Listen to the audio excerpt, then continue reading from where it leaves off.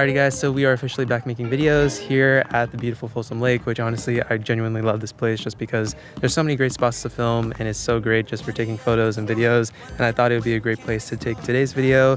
And pretty much we do have some very, very big news and that is I graduated college, which is something that I never thought I would say. But now, after four years at California State University, Sacramento, I did indeed get my bachelor's degree in computer science, which is just crazy to think about. Just so thankful for everyone along the way my friends, my family, people at the university. Now, personally for me, I'm not someone who likes to use the word surreal a lot, but definitely felt surreal just being able to walk on that stage, get my degree, and just being able to see the amount of work that I had to put in for the past four years. Might even plan to pursue my master's degree, which is another video that I will plan to post later on, but we'll talk more about that later on on the channel. Just very grateful for everyone along the way and of course more memories to come. But besides my graduation, today's video is actually about a new gimbal that just came onto the market today, which is in fact the Zhiyun Cinepeer Weebill 3E. So right here we do have the Zhiyun Weebill 3E. This is the Cinepeer edition and Zhiyun was kind enough to send out the gimbal. This video is not sponsored by Zhiyun in any way, but they were kind enough to send out the gimbal for review, which was really kind, especially since I've never really had an unreleased product to review on the channel before. So this is a really cool opportunity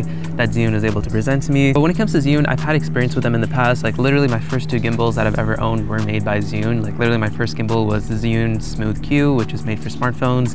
And then for my first camera stabilizer, it was the Zhiyun Weebill S. And when it comes to my past experience with Zhiyun, literally the best way I can describe them is that if you are looking for a gimbal or a stabilizer that's the best bang for buck, it's really hard to not go with Zhiyun just because, especially when you are looking at competitors like DJI, obviously what you are getting for that premium price tag is really nice, but of course you are spending a lot of money. If you are someone who doesn't want to spend that hefty price tag for those premium based products, but still getting a premium product in and of itself, Zhiyun is definitely one of those brands that I'd highly recommend. So with the Weebill 3E inside the box, you are getting the foam case, you're getting a USB-C to C cable and also a C to Type A cable.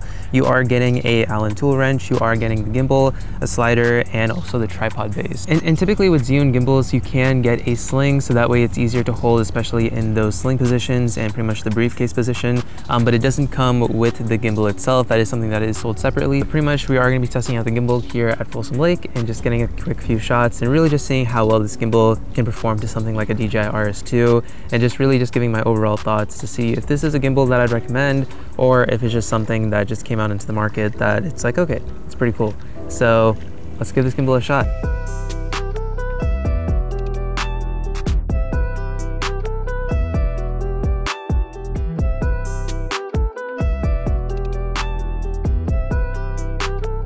So in order to set up the Weebill 3E, pretty much you do have your locking arms, which is very similar to DJI gimbals if you've had experience with them in the past. So pretty much in the back, we do have one that we can unlock, and then to the side, we can unlock it as well. And then we can pretty much relock them in, so that way they are all nice and stabilized. So this is pretty much gonna be the way how it's gonna look once everything is uh, ready to go. Boom, we are ready to go. So this is how it's gonna be once it's fully set up, ready to go. And as you can tell, the gimbal is very responsive, very quick. And initial first thoughts just using the gimbal itself is that it is very, very quiet given the price tag that you're paying for and also its form factor. I'm actually kind of surprised by it just because I'm obviously very used to DJI gimbals since I do own the DJI RS2 and more recently the DJI RS4. And just really comparing the RS4 to the Weebill 3E. This is obviously a lot more compact, which means that yes, it is easier to put into your bag and it's gonna be a lot more lightweight and portable, but the only downside is that if you do have a bigger setup, especially for someone like me who uses a camera like the Canon EOS R5C, it may be too heavy for this gimbal and pretty much what you can put on it.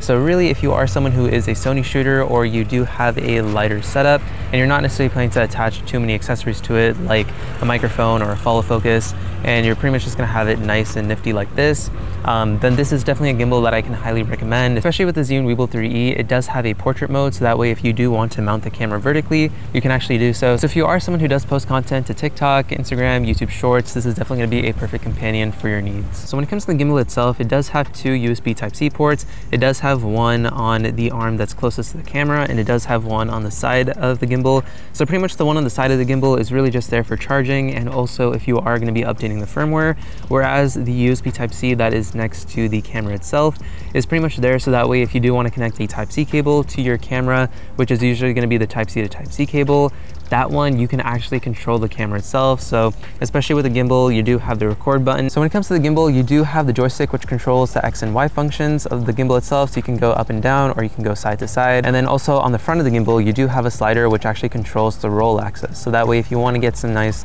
cool rolling shots, you can do it with the slider itself. And then you do have the button where if you do press it, it will switch the front if you press it three times.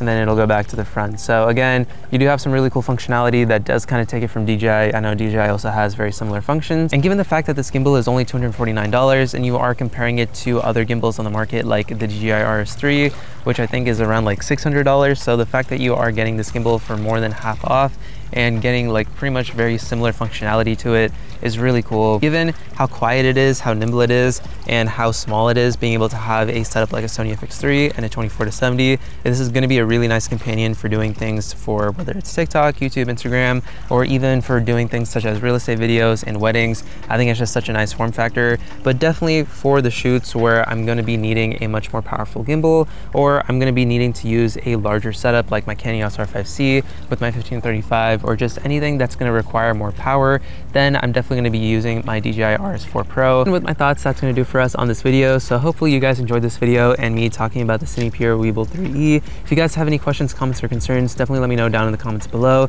Again, thank you so much to Zhiyun for sending out this gimbal. Again, not sponsored, but I do think that this gimbal has a lot of promise, especially for those that do want a nice compact gimbal within that 250 under $300 price tag. And yeah, just being able to see what you can get for that price tag, it is really, really impressive.